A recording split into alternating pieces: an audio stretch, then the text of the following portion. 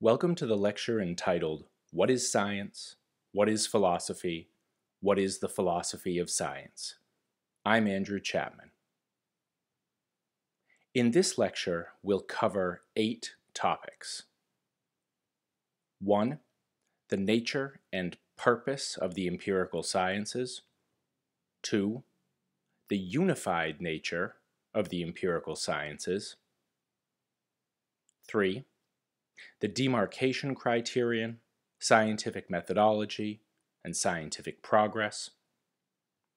4. The nature and purpose of philosophy. 5. The a priori a posteriori distinction. 6.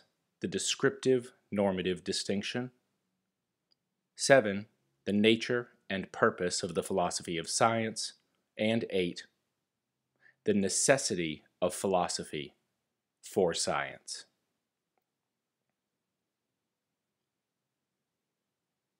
What is science?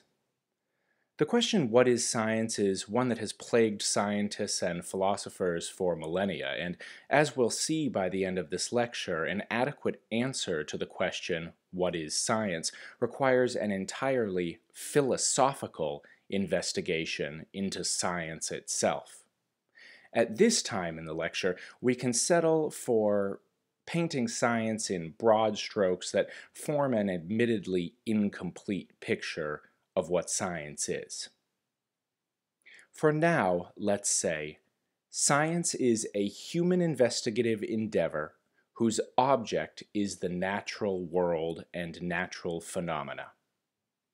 Science is a tool that is developed and employed by humans like you and me when we interrogate the natural world. Science looks to understand the natural world, and part of this understanding includes explanation and prediction of natural phenomena.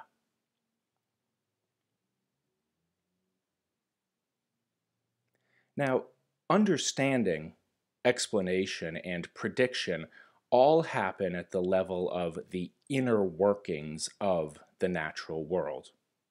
To understand the natural world, to explain the natural world, or to predict the natural world or natural phenomena, scientists develop theories whose purpose is large scale explanation and prediction of natural phenomena in general.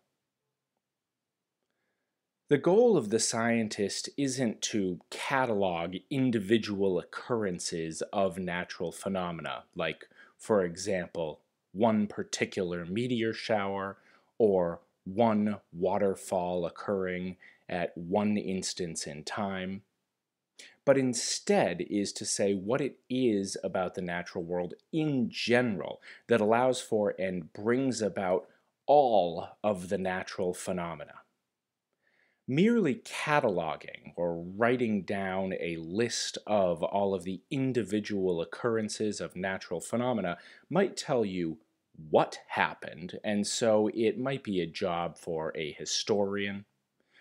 However, it won't tell you how or why what happened happened. Answering these how and why questions, that's the job of the scientist.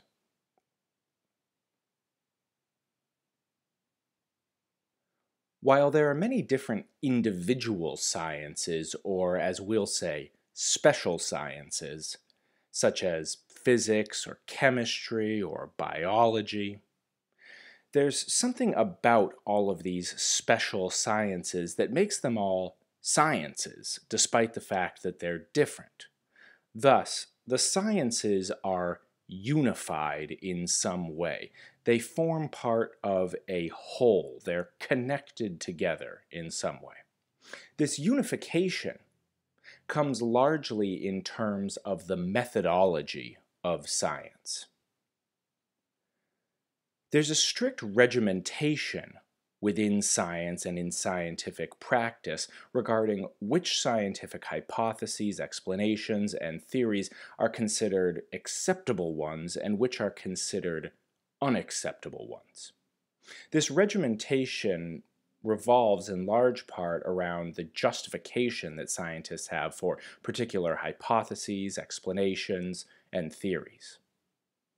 Scientific justification, as compared to other sorts of justification, is largely empirical in nature, and no doubt you've heard that term empirical before, and that's where the empirical sciences get half of their name. Empirical here just means experiential, or from experience, or coming from the senses. Another term that we'll see here for empirical or experiential is a posteriori.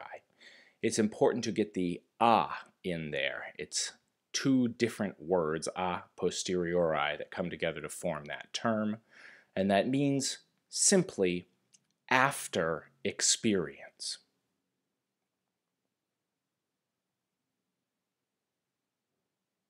It seems as though the standard thought that most people have, what we might call the pre theoretical or pre philosophical thought about science, is that there is a nature or an essence or a core to science.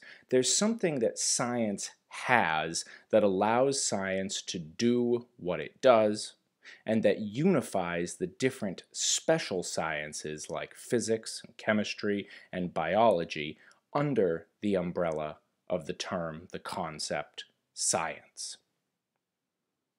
Identifying the nature or essence of science would allow us to do three very important things. First, identifying the nature or essence of science would allow us to say which things are science and which things are not science. This project of separating things into science and non-science is known as demarcation. Second, identifying the nature or essence of science would allow us to determine the best methodology for scientists to employ to achieve their scientific goals. If we don't know what science is and what science is supposed to be doing, then only accidentally might we stumble into a good methodology. However, if we know what science is, what its essence or its nature is, then we can devise a methodology that promotes that nature. Third, identifying the essence or the nature of science would allow us to say what scientific progress looks like and when scientific progress has been made or when scientific progress hasn't been made. The issue of progress is related to, although different from, the issue of scientific methodology. You might think that once we know what the nature or essence of science is, once we've created a methodology that promotes the nature or essence of science, and once we follow that methodology successfully, we will have made scientific progress. Thus, the issues here of the essence of science, demarcation between science and non-science, scientific methodology, and the making of scientific progress are all bound up with one another such that a solution or an answer to any one of these issues seems to be a solution or answer to the other three as well. Let's turn now to philosophy.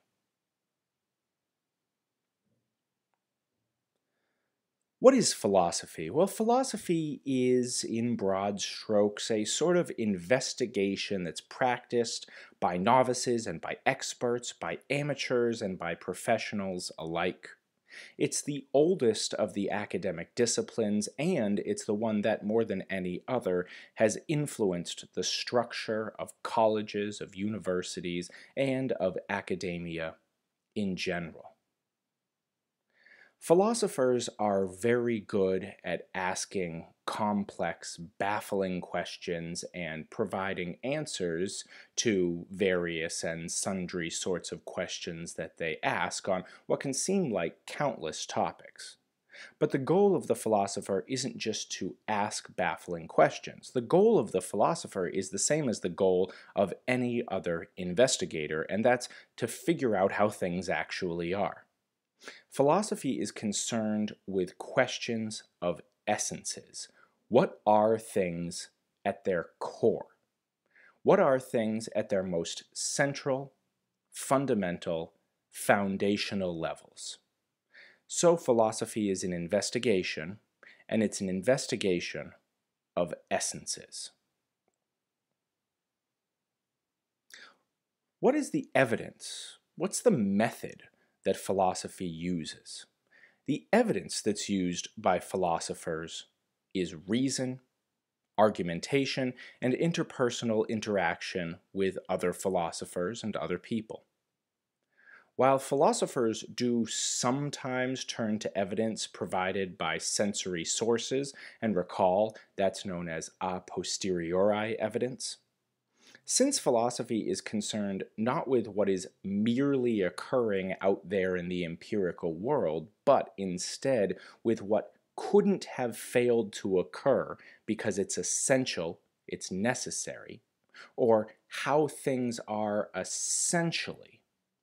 Much of the time, sensory evidence just is irrelevant to philosophical questions. Now, that doesn't mean that sensory evidence is irrelevant to all things or the most important things. It's just that when discovering the essences of things, since essences aren't generally the sorts of things that can be seen or heard, tasted, smelled, touched, philosophers need to use reason and argumentation in order to try to answer philosophical questions about essences. What then is the methodology of philosophy? The methodology that's used by philosophers is varied, and different philosophical schools have developed based around different philosophical methodologies. Some philosophers think that philosophy should be conducted in a way that's analogous to, although not identical to, given the non-empirical nature of philosophical evidence, the natural sciences themselves. And some philosophers think that philosophy should have an entirely unique methodology that looks nothing like scientific methodology, and philosophers fall in between these two poles.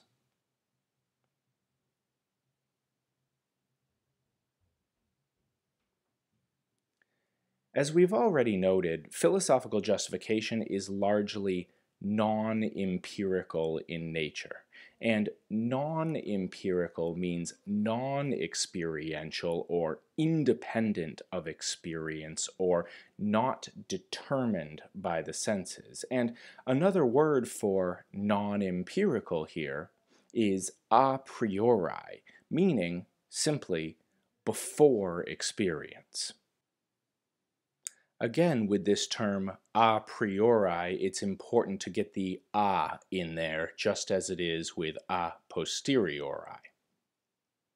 Now, the fact that philosophical justification is non-empirical or a priori does not mean that this justification has no relation at all to the empirical.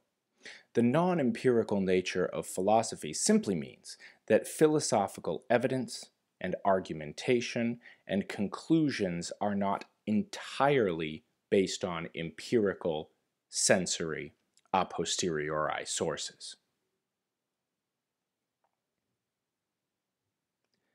We've now seen these terms a priori and a posteriori used in this lecture, so let's take some time to get very, very clear on their meanings. And these are not merely pieces of philosophical jargon that are used by philosophers so that they can baffle other people. These terms are terms that are used by philosophers for very specific purposes in very specific ways, and unless we understand their meanings and unless we're fluent with these terms, understanding the distinction between science and philosophy, understanding the need for the philosophy of science, and understanding pretty much any other issue in the philosophy of science will be very difficult. A priori and a posteriori are adjectives, they're descriptions that pick out a distinction between types of evidence, justification, investigative methodologies, conclusions, and pieces of knowledge. Thus, there can be a priori evidence, a priori justification, a priori methodologies, a priori conclusions, and a priori knowledge and there can be a posteriori evidence, a posteriori justification, a posteriori methodologies, a posteriori conclusions, and a posteriori pieces of knowledge. And to remind you, a priori means before or without sensory evidence, and a posteriori means after or with or because of sensory evidence. The a priori, a posteriori distinction is a mutually exclusive and jointly exhaustive distinction. So take a piece of justification just as an example. The a priori, a posteriori distinction is mutually exclusive in that the justification, that is our example, is either a priori justification or it's a posteriori justification, but it can't be both. That's what mutually exclusive means. It's one or the other, but not both. And the distinction is jointly exhaustive in that the justification, that is our example here, must be either a priori justification or a posteriori justification. There is no third option, so the two have exhausted all of the options. If something is a posteriori, that means that it's entirely derived from the senses. There's no non-empirical or non-sensory content in that thing. On the other hand, if something is a priori, then at least some of it, although it doesn't have to be all of it, just at least some of it is not derived from the senses. There's at least some non-empirical or non-sensory content in that thing. In order to determine whether some piece of evidence or justification or a methodology or a conclusion or an instance of knowledge is a priori or a posteriori, you can ask yourself, does this thing, the methodology or conclusion or piece of knowledge, piece of evidence, piece of justification, have any non-empirical content in it? Is there something in this that I didn't derive directly from experience? If your answer is yes, then you've got yourself something a priori. If the answer is no, on the other hand, then you've got yourself something a posteriori. So just one example here of the distinction. Currently I'm looking at my water bottle as I record this lecture. The water bottle is blue. I believe that the water bottle is blue because of that justification. The justification is a posteriori because there's nothing in the justification other than stuff that I got through my senses. The justification is just the blueness of the bottle. On the other hand, I know that all bachelors are unmarried and I know that, let's make up a fictional person here, John is a bachelor. What else do I know about John then? Well, I can conclude from that that John is unmarried. But how did I get from those two statements to the conclusion that John was unmarried? Well, I did it based on some a priori knowledge I have about how those sorts of statements are related to each other. There's more in that statement, the conclusion, than was contained in any sensory evidence that I could have. Since we're talking difficult distinctions right now, let's do one more. The descriptive normative distinction. This will be also very important for us as we investigate science and philosophy and the philosophy of science and the relations between all of them. When you make a claim, when you say something, rather than when you ask a question or you make a demand, what you're doing is expressing what's known as a declarative proposition. You're declaring something. You're saying something. Declarative propositions come in two varieties that are, you guessed it, mutually exclusive and jointly exhaustive. These two varieties are descriptive propositions and normative propositions. Descriptive propositions are ones that make claims about what is, was, or will be the case. They describe the world. Of course, descriptive propositions can be either true or false depending on whether they are accurate or inaccurate, respectively, descriptions of the thing that they're trying to talk about.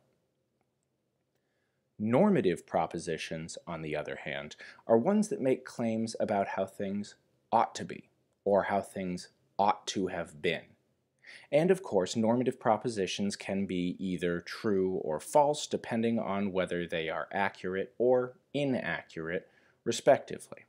Sometimes the descriptive normative distinction is called the is-ought distinction. An example here. The President of the United States is the Commander-in-Chief of the Armed Forces. That is true, but also it's a descriptive claim that says what is the case. The President of the United States is 10 feet tall. That's also a descriptive claim. It tries to say what is the case, but it's false. The President of the United States ought to be honest with the American people. That's a normative proposition. It says what ought to be the case. Now, maybe that's true. Maybe there are cases, on the other hand, where the president ought to lie to the people of the United States. Who knows? But notice here that because something ought to be the case, that doesn't mean that it is the case, and because something is the case, that doesn't mean that it ought to be the case. Let's turn now to the philosophy of science. Now, we already know what philosophy is, and we already know what science is, so since philosophy is concerned with questions of essences, and since science is a tool that's used to explain, predict, and understand the workings of the natural world, we can just deduce from that that the philosophy of science is the discipline that's concerned with the essences of the tool that's used to explain, predict, and understand the workings of the natural world. Sure, but that definition isn't all that helpful. It's also very wordy. What is it, we might wonder, that the philosophy of science does in practice? What's the relationship between the philosophy of science and science itself? Why should scientists care about the philosophy of science, and should they? And why should we care, all of us here? Who aren't scientists or maybe who are just studying science but aren't practicing scientists, why should we care about the philosophy of science? These are the sorts of questions that we would want to answer before we could feel like we had a real grip on what the philosophy of science is. Recall science's domain its purview, the stuff that science investigates and is directed towards. Science is directed at the phenomena of the natural world, and science was developed by humans as a tool for investigating the natural world. The goal of science is to explain, and to predict and to understand the phenomena of the natural world by getting at the inner workings of the natural world, the stuff that holds the natural world together, that makes stuff happen. However, it would be impossible for us to use science as a tool to investigate the natural world were it the case that systematic and theoretical investigation of science's foundations was not possible. That is, science can only function because we, the people who use science, are able to investigate and evaluate how science itself functions. So think about this. The only reason that cars, automobiles, are able to function is because we're able to look at the cars from the outside to determine which parts of the cars are working and which aren't. If something breaks down, we can figure that out, or maybe someone smarter than us, a mechanic, can figure that out. It would be impossible for us to have cars if we couldn't ever investigate in some sort of systematic way what was working about cars and what was not working about cars.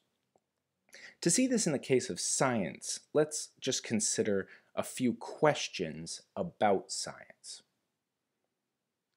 When a chemist arrives at her laboratory in the morning, how does she know which activities that she's going to engage in count as continuing her research and which activities count as abandoning her research altogether? That might seem like a silly question, but think for a second. How does the scientist know to continue the experiments from yesterday rather than burning all of the copies of the results of the experiments from yesterday? How does she know that? When a high school student considers studying physics in college and asks his high school physics teacher which schools he should apply to, how does his teacher know what advice to give? Again, at first this seems like sort of a silly question. Why wouldn't the teacher just tell the student which are the best physics schools? But how does the teacher know what counts as a good physics school and what doesn't count as a good physics school? How does the teacher know what counts as good or bad in science education? When new geological data appear to be incompatible with well-established geological theories, how do geologists know whether to question the data, or the theories, or both, or something else entirely?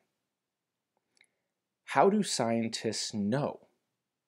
What thing is making their experiments, their theories, their explanations break down? How do they know where to turn? When a psychologist develops a new clinical methodology that's supported by all of the data, but that is out of line with current APA guidelines, how does the APA and how do other psychologists know how to respond? Is it acceptable for the APA to allow this psychologist to practice a clinical methodology that's out of line with the current guidelines, or is that unacceptable? What should happen?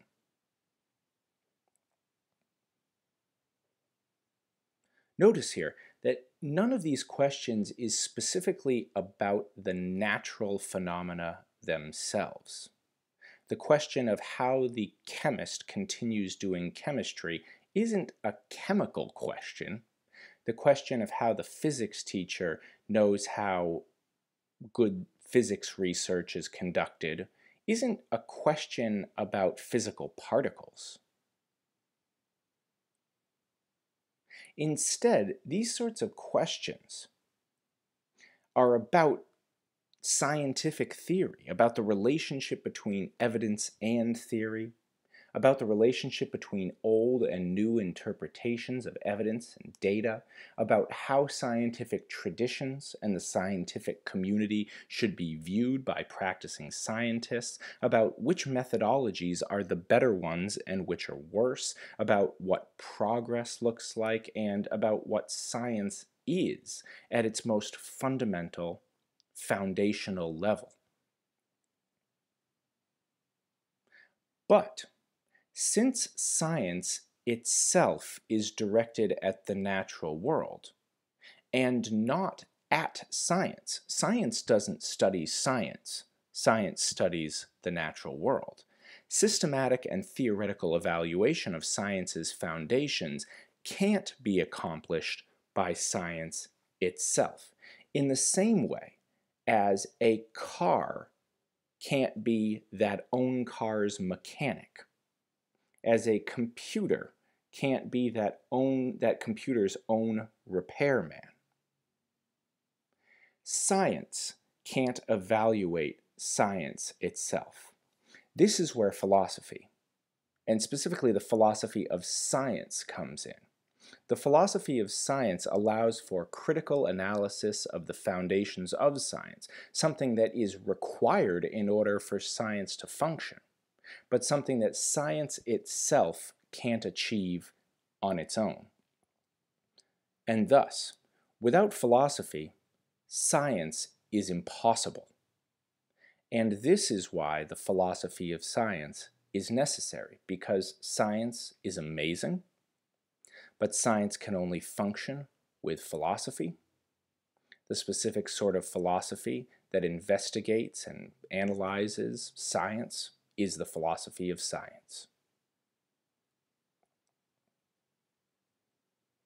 Thus, to get very specific here, the philosophy of science is the a priori investigative endeavor that examines the descriptive questions about science's foundations concerning what science is, how science is able to function, and the normative questions about science's foundations concerning science's aims, what they ought to be, and how science ought to function in order to achieve those aims. The philosophy of science supports science by facilitating the systematic and theoretical evaluation of science's foundations that is required in order for science to function, but that science can't accomplish on its own. The philosophy of science criticizes science by showing the proper limits of the power of science and by ensuring that science doesn't attempt to transgress those limits. However, this criticism of science is still ultimately out of respect for, out of veneration for science. Science is weakened when it's used poorly in domains in which it doesn't apply.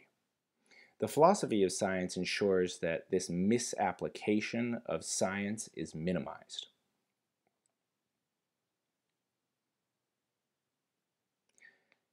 So since science can't critically examine itself, science isn't able to answer what is perhaps the most important question about science, which is, what is science? The question that we started this lecture with. Answering precisely and adequately the question of what science is requires finding some criterion, some standard or measure or benchmark that all things that are science meet and that all things that are non-science fail to meet. Such a criterion would demarcate or separate science from non-science.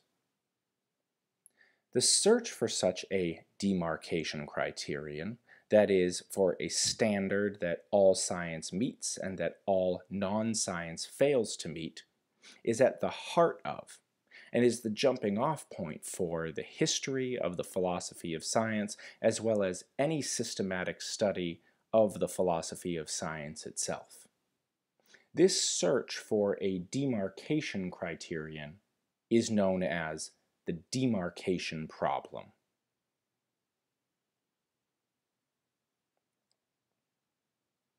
In this lecture, we've looked at eight issues. These are 1. The nature and purpose of the empirical sciences. 2. The unified nature of the empirical sciences. 3. The demarcation criterion, scientific methodology, and scientific progress. 4. The nature and purpose of philosophy. 5. The a priori a posteriori distinction. 6. The descriptive normative distinction. 7.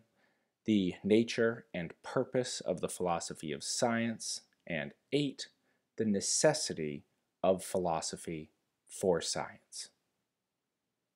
Thank you.